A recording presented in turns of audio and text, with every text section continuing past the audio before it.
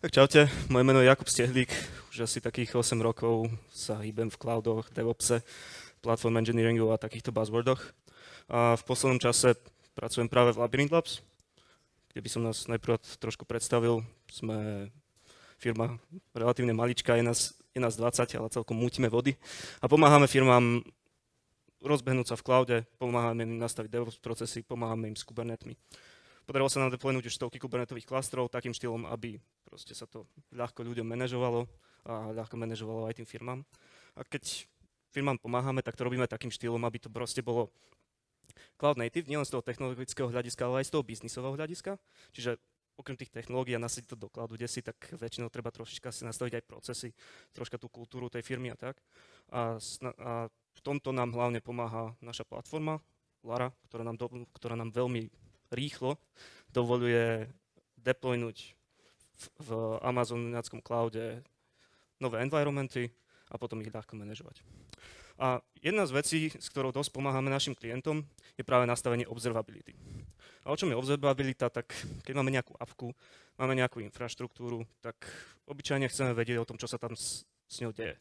Chceme vedieť napríklad, že uh, koľko tam máme akurát používateľov, alebo prečo je vyhúlený tento server akurát. A na základe týchto zistení potom tí používateľi alebo tí developeri, maintainery môžu robiť rozhodnutia a robiť zmeny v tých svojich aplikáciách alebo infraštruktúre. A také hlavné ukazovatele, ktoré získavame z observability, tak sú metriky, logy, profily a o čom budem hlavne dneska kecať, tak trace. No, veľmi pekne po. Čo sú to tie metriky? Tak metriky to si môžeme predstaviť ako nejaké jednoduché číselné ukazovateľe a môže to byť basically hocičo. Ako som spomínal, napríklad um, počet používateľov, alebo koľko správ je akurát v nejakom messaging queue, na koľko percent je akurát vyholené toto CPUčko alebo táto memory. Pri hokeji, koľko sme dali golov, koľko golov sme stratili, koľko zápasov sme vyhrali a tak. Čiže tieto metriky si potom môžeme vizualizovať, môžeme ich analyzovať, môžeme na základe nich nejako notifikovať. Metriky sú však relatívne sprosté. Oni nám hovoria o tom, že čo sa deje, ale nehovoria nám o to až tak ten kontext toho, čo sa deje. A práve na to nám pomáhajú logy, čo sú v princípe akože v preklade záznamy, alebo polená, v tomto prípade sú to záznamy. A čo, o čom sú logy, tak asi je to len o tom, že kedy sa niečo stalo a napíšeme, čo sa stalo. A máme nad tým obrovskú kontrolu. Proste keď dáme do, do kódu, že niečo zalogujeme, tak môžeme tam dať hociakú informáciu, hociakú kontextuálnu informáciu. Napríklad v tejto chvíli mi toto vybuchlo. A môžem tam potom rozpísať ďalšie básničky, že prečo a tak ďalej. Keď sme už fakt fajnšmekri, k tomuto som fakt nemal nejakú vizualizáciu dobrú, keď sme fakt fajnšmekri, tak uh, niekedy sa hrajkame s profilmi. A profily sú práve o tom, keď chceme ísť fakt, fakt, fakt do hĺbky toho kódu a chceme to úplne extrémne optimalizovať. Profily nám pomáhajú optimalizovať alebo zisťovať, čo sa deje až na úrovni riadkov kódu. Čiže tento riadok kódu, napríklad tento for loop alebo whatever, tak uh, žere toľko to memory, alebo takto dlho trvá. A keď proste máme nejakú fakt high performance appku, alebo potrebujeme fakt skresávať kosty, alebo skresávať latencie, tak práve na to slúžia profiles. A v poslednom rade máme traces. Traces ako tak analogia zo skutočného života je, že objednám si balíček. Objednám si nejaký balíček, objednám si ho povedzme z Viedne, príde z Viedne do Bratislavy, ja bývam v Martine, potom z, z Bratislavy ho prevezú do Žiliny a potom zo Žiliny ho privezú do Martina a potom je tam v nejakom balípokoboxe a asi potom prídem. No a ja chcem asi vedieť, že proste prečo napríklad na nejakom, kde to akurát je, uh, ako dlho to tam je, možno prípadne, ak je to kde si zaseknuté dlho v Bratislave, takže čo sa to stalo a na základe toho ja viem komunikovať. A toto je aj v prípade IT. Jednoducho tracy sú o tom, že mapujú cestu jedného requestu viacerými, viacerými službami a čo sa kde dialo. A kedy ale by sme použili tie tracy? Tak väčšinou, keď začíname kodiť niečo, tak používame najprv nejaké tie logy, proste za, za, napíšeme si tam print na tomto mieste, že OK, na, tam nám už kod beží. Keď už to niekde deployneme do nejakej produkcie, tak začínajú nás zaujímať aj metriky, napríklad, aby sme mohli mať menšie servery, potrebujeme cost optimization, tak mm, keď sme fakt fajnšmerkeri, tak profily, ale kedy by sme práve využili tie tracy. Povedzme, že máme jednu aplikáciu, ktorá je samotná, príde do nej requesty, ona niečo spraví, pošle odpoveď, nemá nejaké databázy, nikoho iného nevolá, rieši všetko sama. Potrebujeme tracy? Asi nie. Akože na čo? Všetko, čo sa tam deje, tak dokážeme väčšinou poriešiť metrikami, logmi, prípadne profilmi. Keď už máme dve apky, tak OK, je tam nejaká cesta. Príde to do apku 1, tá zavolá apku 2, ktorá môže byť apka, môže to byť databáza, môže to byť whatever, je to nejaký komponent. A ako tracing by sa tam už potenciálne zišiel, ale tiež podľa mňa je to overkill. Vieme to zistiť kľudne metrikami, logmi, profilmi, pretože vieme určiť, že kde sa čo deje.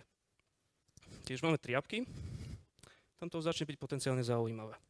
Lebo je, je tam toho viacej, ale stále je to overkill. Čo ak ale máme 10, 20, alebo ako mal Uber v 2019, mal takýchto, neviem, 10 tisíc servisov či koľko? V takom prípade už asi si nepamätáme, že kde sa čo deje. Tie servisy sa volajú rôzne, proste príde niečo sem, tak raz to pôjde tam, raz to pôjde tam, raz to pôjde tam. A vtedy už potrebujeme vedieť, čo sa deje na úrovni toho requestu. Neviem presne povedať, že kedy je tá, ten počet, že kedy by sme už mali zapínať tracy, ale uh, čím viacej mikroservisov máme, čím viacej komponentov v našej infraštruktúre máme, cez ktoré ten request prechádza, tak tým väčšiu hodnotu majú práve že tie tracy a informácie z nich. Ale aké informácie teda dokážeme získať z tých traceov? Tak prvá vec, keď to máme viacej a nechodí to úplne deterministicky, že vždycky to prejde touto cestou, lebo rôzne komponenty sa môžu volať na základe nejakých atribútov toho requestu, tak je dobre si zmapovať, že čo, kadiaľ to prechádza, kadiaľ ten request chodí a kde sa s ním čo stane. Akože keď máš tých 10 tisíc requestov, tak nemáš človeka, ktorý by si to zapamätal a vlastne takého človeka ani nechceš, pretože poprvé by bol sakra drahý, po druhé tie veci sa menia a menia sa strašne dynamicky. Keď máš mikroservisy obyčajne v cloude alebo niekde, tak e, starajú sa potenciálne o nich rôzne týmy a menia sa, menia sa tam veci, pridávajú sa veci, uberajú sa veci, menia sa tie páthy. Čiže tracing práve, že nám pomáha v tom zistovať, že čo sa deje akurát, alebo kadiaľ ten request prechádza. Keď už vieme, že kadiaľ prechádza, tak vieme si určiť a vieme si nejako zagregovať to, že kde vznikajú tie najväčšie latencie. A to je taká hlavná metrika, ktorú z traceov obyčajne čakáme, že na ktorom mieste sa to zasekne najviac, prečo je to tam najdlhšie. A keď už vieme, že prečo je to tam tak dlho, prečo, je tam, prečo sa to zasekáva práve tu tak sa vieme rozhodnúť, že neviem, pridáme tomu viacej resursov, pridáme tomu viacej CPUčka, alebo je to možno len normálna vec, alebo po Black Friday máme ešte, no tak asi vtedy to bolo viacej aj za normálnych okolností. To nemusím nejako hrotiť a zvyšovať tomu tie requesty. Um, alebo tie, tie resources. Pritom samozrejme dokážem zistiť aj nejaké bottlenecks, čiže kde sa to reálne dokáže zaseknúť. A čo je strašne dobré, keď máme fakt dobrý tracing systém, tak nemusí to výjsť len na úrovni komponentu, že povedzme, toto je databáza, tam sa to zasekáva, ale viem ísť troška hlbšie do tých úrovní operácií, čo tam deje. Čiže je to get, je to, je to, je to nejaký read, je to nejaký write, alebo proste viem sa pozrieť troška hlbšie do toho requestu, prípadne si tam spraviť nejakú hierarchiu pod requestov. A v neposlednom rade, tak vieme zistiť, dokážeme ku traceom pripojiť aj to, aj nejaký ten kontext. Ako podobne ako pri logoch, že napríklad tu nás sa deje takáto chyba, tu nás sa toto deje a potom môže, to nám pomáha lepšie analyzovať nejaké problémy. Tak keď som začínal tých 10 rokov dozadu, tak uh, taký prvý tracing systém, s ktorým som sa stretol v starej firme, tak bolo to, že tracovali sme prostredníctvom práve že logov. Dá sa to, funguje to. Ako by to vlastne nejako vyzeralo? Proste Predstavme si, že máme x komponentov, ktoré, ktoré generujú nejaké logy. Tie logy sa potom kde si posielajú, centrálne tam sa agregujú a tam ja si viem prečítať postupne, že čo sa deje. No a k tým logom, ja, do tých logov ja môžem v podstate napísať, čo ja chcem. No a jednu takú vec, ktorú my sme tam robili, tak my sme tam pripravili napríklad Trace ID. Čiže Trace ID bolo o tom, že prišiel request, vygenerovalo sa nejaké UID, to sa k tomu pripojilo, to sa dalo do tých logov a na základe toho sme vedeli povedať, že tady toto išlo, tu sa stalo toto, tu sa to zadržalo takto dlho a vedeli sme zmapovať tú cestu. V podstate tracing. No a tu na, v tomto exempli proste vidíme, že ten trace ID 1, 2, 3, 4, tak prišlo to na appku A, tam to začalo rieš, niečo riešiť, potom to išlo na C, tam sa to pokazilo, skúsilo to znova, prešlo to. Done. Máme tam aj nejaké ďalšie informácie, ktoré sú, ktoré sú v tom logu, ale ak by sme sa potrebovali pozrieť práve že na ten request A, tak vidíme tam toto. Mm, je to ale dobrá vec? Takže áno, funguje to, dokážeme si spraviť nejakú pátu toho, čo sa, čo sa tam deje, ale traceovať cez logy nie je práve ideálne. Prvý ten dôvod, ktorý tam je, tak je, že sme dosť odkázaní na ten logovací systém a prípadne aj na formát tých logov. Proste keď jedna apka má pekné logy, že mi povie, že áno, tu je Trace ID, tu je, je to apka A a že čo sa tam deje, super, dokonale. Ale keď napríklad mám toto, neviem čo to je, Proste niečo si štartlo. A tým pádom ja som odkázaný na, na tie logy, nemám tam nejaký nutne ten štandard, zvlášť keď sa o to starajú rôzne týmy, ak nemajú proste nejaké, nejakú dohodu, že ako by to malo vyzerať. Ďalšia vec je, že často chcem z tých logov, alebo chcem pri tom tracingu získavať nejaké tie, nejaké tie metriky, napríklad latencie. A na to, aby som zistil latenciu requestu z logov, tak ja to tam proste musím zalogovať. Musím povedať, že proste toto trvalo 50 milisekúnd. Alebo musím spraviť nejakú operáciu, že zoberiem toto minus toto a poviem si, že OK, toto je asi čas, ktorý to trvalo. Ale to nie je ideálne, pretože ten logovací systém takéto queryny že zbytočne vyťažujú, aké by nemuseli. A toto nás dostáva k tomu tretiemu bodu, že sme to závislí na tom logovacom systéme, ktorý chceme používať proste nie úplne na toto. Tie queryny, ktoré tam musíme robiť, tak nie sú práve, nemusia byť práve najľahšie na toto. Od tej doby tým pádom už vznikli rôzne solutions, ktoré sú vyslovene dedicated na tracing. Jednou z takých hlavnou, čo, čo existoval, tak bol Jaeger, to si vymyslel Uber, myslím, že. A z toho sme videli aj ten graf tých 10 tisíc servisov. Existuje v tejto dobe Zipkin, rôzne cloudové platformy majú svoje vlastné služby, ktoré sa sústredia práve na tracing. Toto je napríklad, toto je napríklad X-Ray od AWS, ale v poslednej dobe to, čo sa skloňuje úplne najviac a čo je vyslovene synonymom tracingu, tak to je OpenTelemetry, to je tento tu na ďalekohľad. On sa snaží zoštandardizovať to spôsob, akým generujeme, akým kolektujeme, akým potom storujeme tie tracy, ako vyzerajú tie message a tak. Akože ukázali sme si, že tracing prostredníctvom logov dá sa, nie je to ideálne, ale predsa len sú tam nejaké tie koncepty, ktoré, ktoré fungujú. Ukážeme si to na exampli. Hm, to, to nič, event-driven tracing, to som mohol zmeniť aspoň ten nadpis. Spoiler. Predstavme si example. Sme nejaká firma, ktorá posiela balíky, proste ja chceme len zobrať balík a poslať ho. Nezaujíma nás nič viac. Chceme proste vytresovať, že kadeľ to prejde, čo sa tam, čo sa tam vtedy deje. Čiže aký je ten proces tak. Ideme ho deliverovať, potrebujeme ho zabaliť, potrebujeme tam dať nejaký štempel alebo niečo a potom ho potrebujeme poslať. A trace v podstate by vyzeral nejakým spôsobom tak, alebo jeden z view, ako, ako sa dá pozrieť na ten trace, tak send package je celá tá operácia od začiatku do konca. Toto je žípka času, proste čas ide týmto smerom, tu na to začalo, tu na to celé skončilo. Počas toho sa to išlo paknúť, v rámci toho paknutia tam tá hierarchia ešte, že, že tam dáme nejakú neviem, adresu alebo whatever. A potom ďalšia operácia je, že to pošleme. Viacej nás to nezaujíma, začalo, začalo to, skončilo to. V tracingu tieto jednotlivé operácie voláme spany. Stretol som sa už aj možno s nejakými inými názvami, možno aj vy. V AWS som našiel, myslím, že segmenty. A keď toto celé zoberieme dokopy, tak toto je jeden trace, jeden request. Čiže išiel som poslať, zabalil som, oštemploval som, poslal som. A tak to vyzeralo. Ako by to vyzeralo v reáli, ako by vyzerali tie dáta tak na to, aby sme vedeli, že ku ktorému spanu nejaká vec patrí, alebo ku ktorému traceu, tak sa tam pridávajú nejak, do toho kontextu nejaké, nejaké tie metadáta, ktoré sa potom posúvajú ďalej medzi tými jednotlivými spanmi, ako to ide, ako to prechádza tým systémom. Čiže keď máme prvý span, ten hlavný, ten, čo začal ten trace, nemá žiadneho parenta, on je ten úplne prvý, dá sa, dá sa mu nejaké idečko, dá sa mu idečko traceu. Všetky tie spany v rámci toho jedného traceu tak majú jedné spoločné trace ID, aby to identifikovalo to, že vlastne sú časťou tohto jedného traceu a potom majú svoje unikátne ID toho spanu. A tam vidíme strašnú výhodu napríklad oproti tomu logovaciemu approachu, že mám tam hierarchiu, viem povedať, že á, táto operácia je súčasť tejto operácie a táto trvala takto dlho a toto sa s ňou dialo. Tracy by malo tiež obsahovať začiatok, koniec tej operácie, mali by obsahovať aj nejakej identifikátor toho, čo sa dialo, či, čo ja viem, nejakú API pathu alebo whatever. Um, môže obsahovať aj nejaké ďalšie užitočné metadáta. Medzi tieto užitočné metadáta patria aj atribúty a eventy. Napríklad atribúty to sú čisto key value pairs. Proste keď máme HTTP request nejaký, tak väčšinou nás zaujíma, že ako to dopadlo, či to skočilo 502 alebo 404 alebo 600 alebo je to úspešné a je tam 200. Čiže obyčajne tie atribúty, čo tam sú, tak nám povedia niečo viacej. Alebo dokážu identifikovať to, že ktorý je to user, alebo ktorý je to package, alebo whatever ďalšie, čo tam chceme pridať. Niekedy nás zaujíma aj to, že v tejto chvíli sa stalo niečo, v podstate v princípe logy. To sú eventy, čiže napríklad chceme vedieť, že OK, o jednej ráno nám to vybuchlo. Takže takéto niečo tiež vieme pripojiť k tým, k tým traceom a posúvať ďalej a na základe toho analyzovať, že čo sa dialo.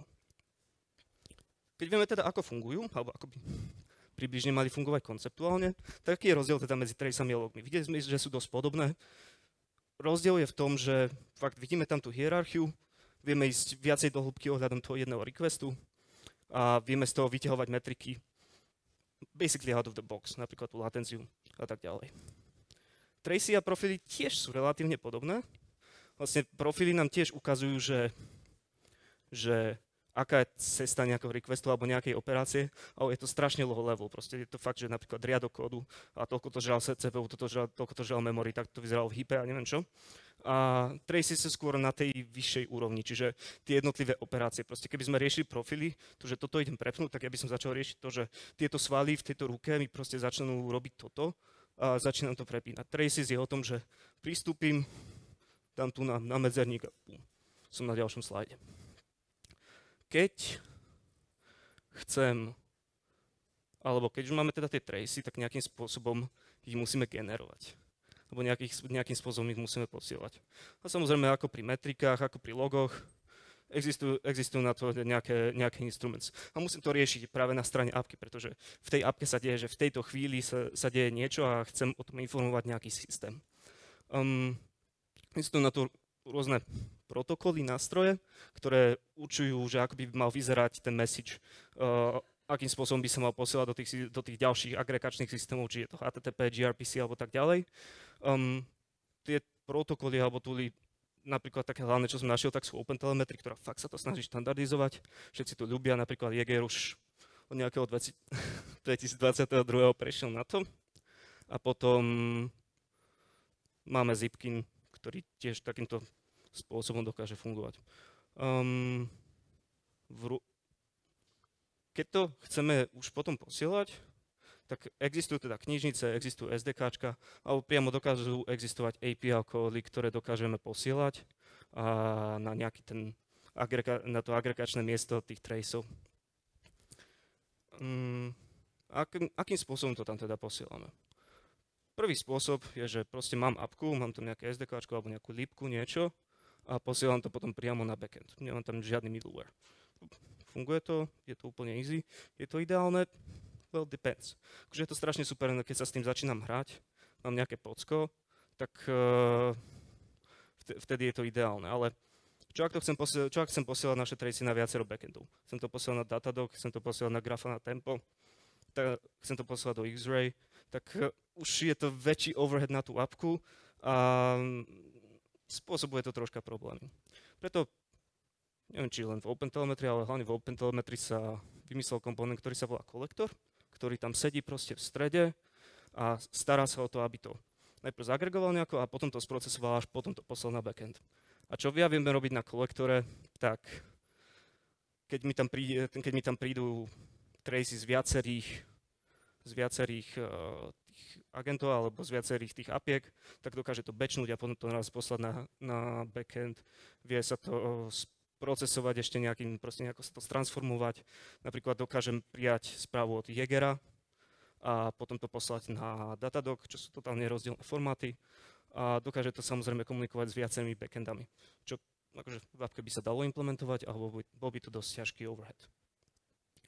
Tie OpenTelemetry kolektory sa dokážu deploynúť viacerými spôsobmi.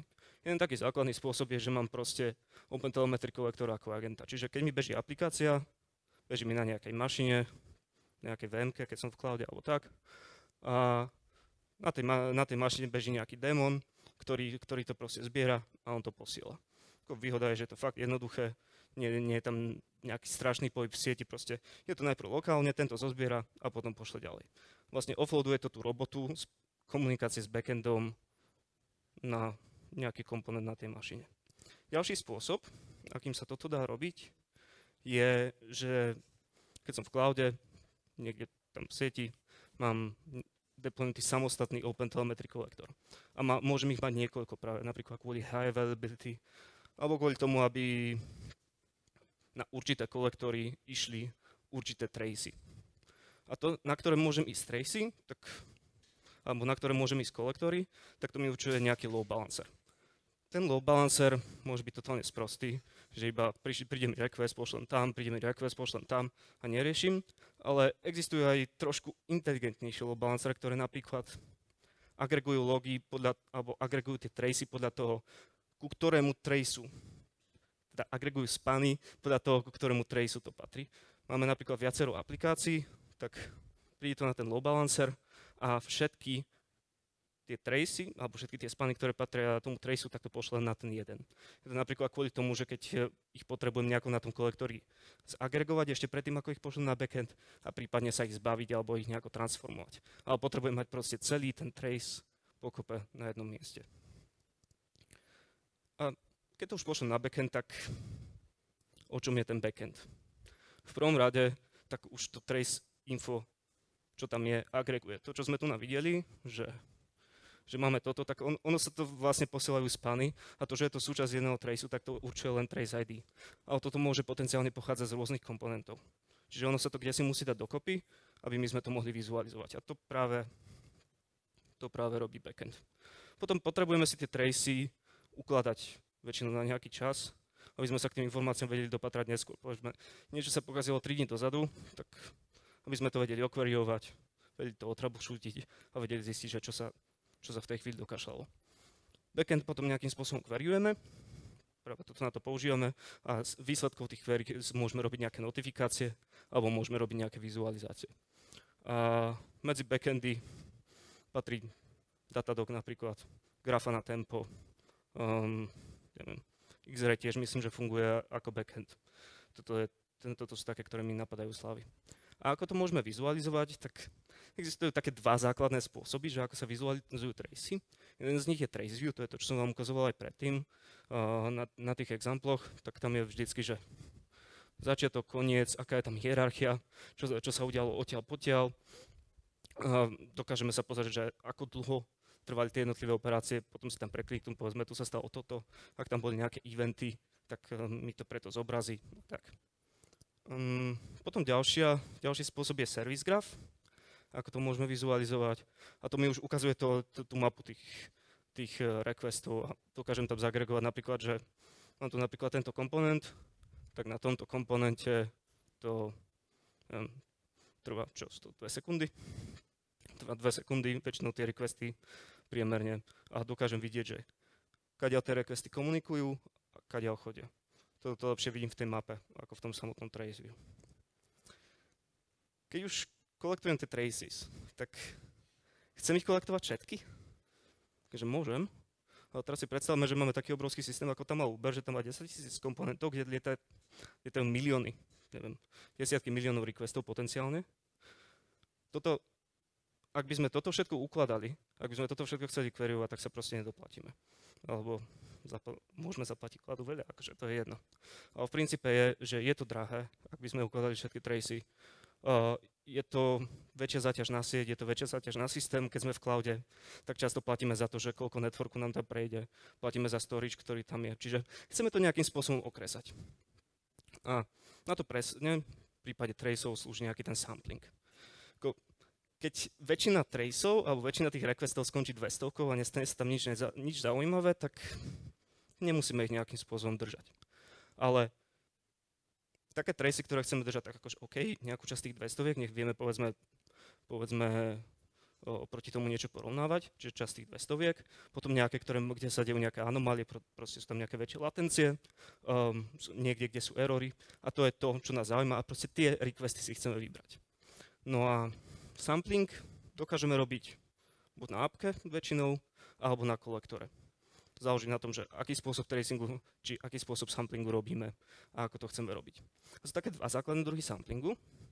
Prvý sampling sa volá, že head sampling a ten je o tom, ten je veľmi primitívny. Chcem si len určiť to, že toľko to percento, takéto percento tých samplov si chcem držať. Čiže, čiže máme 10 tisíc requestov, chcem povedzme len 5% z toho, tak ono to spraví nejaký magic cez nejaké algoritmy a pozrie sa a, a prestane ten trace riešiť a nepošle ho ani na backend a tým pádom to okresá celý ten trafik. Niekedy však chceme um, robiť takéto rozhodnutia troška neskôr a trošku informovanejšie. A na to nám práve slúži tail sampling. Čiže zaujíma nás to, môže nás tam zaujímať to napríklad, že ako som spomínal, že máme requesty s určitou latenciou, ale to, že, to, to, to, že tá určitá latencia, keď je tam 50 operácií, tak tá latencia, ak príde až na 50 operácií, tak až vtedy to môžeme zistiť. A o tom je ten tail sampling, že zistujem túto informáciu, že či si ho ponechať, alebo či ho zahodiť až vtedy, keď je ten trace skoro hotový, alebo keď prejde určitými kritériami. Proste ak sa to stane napríklad latencia hneď na začiatku, alebo nejaký error, na začiatku, tak neriešim, hneď si, hneď si ho ponechám.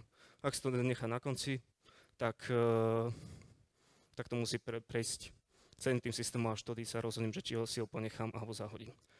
Head sampling je primitívny, tail sampling uh, naimplementovať nie je až tak ľahké, hlavne kvôli tomu, že musím si určiť, že kedy je ten cutoff, alebo kedy chcem tie informácie.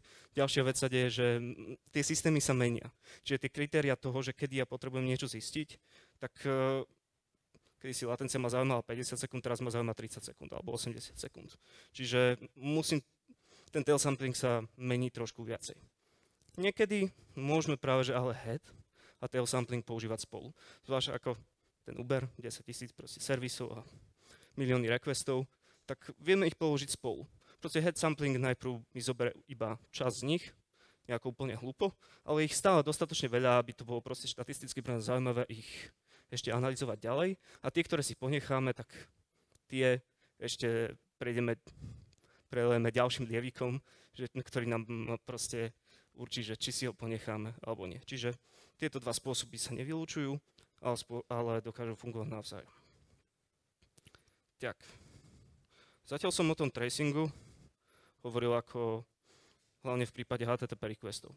Keď máme nejaké HTTP requesty, tak mám tam začiatok, mám tam koniec, mám tam latenciu, mám tam nejaký status kód, viem, že to začalo, viem, že to skončilo.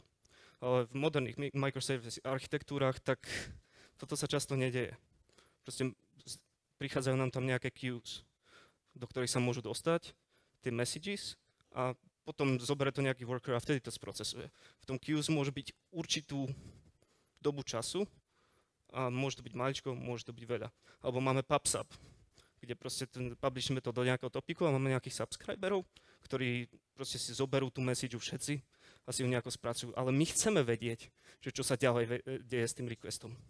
Ako taký super example na ten balíček, takže máme ako, keď máme balíku bol, boxy, že máme paketu alebo Alzabox alebo niečo také, tak proste príde tam, príde tam kuriér, dnes je to tam a ja si to zoberiem zajtra, zoberiem si to o dva dní, zoberiem si to o týždeň, ale tá delivery není dokončená, až kým vlastne ja to nemám.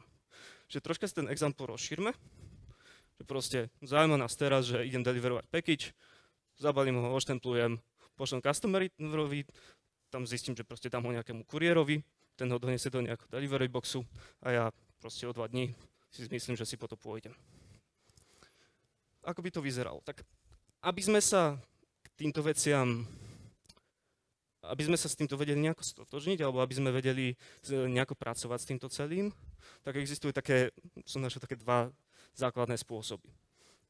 Jeden spôsob je to, že proste mám ten top level span, ktorý je, a celé je to súčasť jedného traceu, a proste mám, mám tam hierarchiu, že to paknem, štepnem to počas toho pekovania, pošlem to customerovi, tam, tam je nejaká hierarchia toho, že najprv to kuriér, oni to dajú do boxu, to končí a potom ja to niekedy, niekedy vyzdvihnem.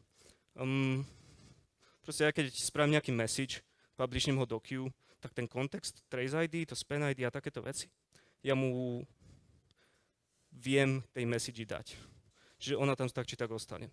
Nevýhoda tohto approachu je, že toto môže byť veľmi dlhý čas a tým pádom ten span alebo ten trace vyzerá ako, že je neukončený.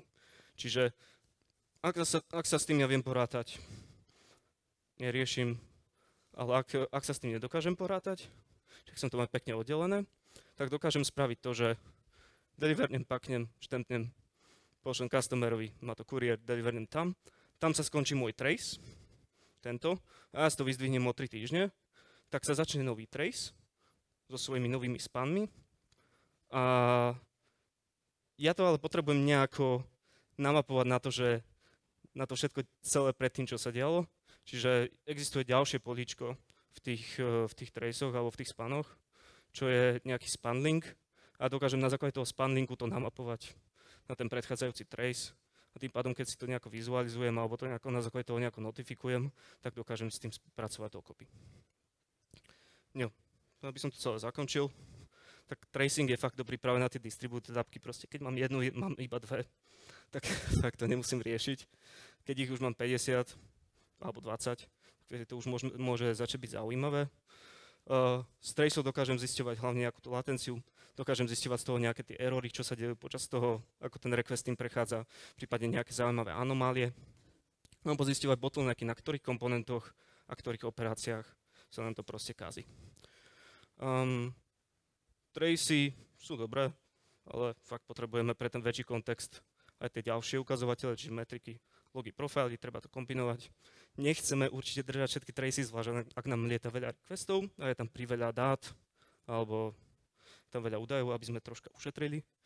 A akože synonymné fakt s tracingu je, je to OpenTelemetry.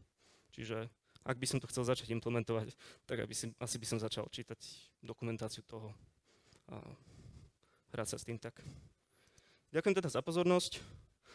Tento QR ten by vás mal dostať na LinkedIn Labyrinth Labs, postujeme okrem marketingových vecí aj nejaké zaujímavé túly, uh, s ktorými sa stretávame.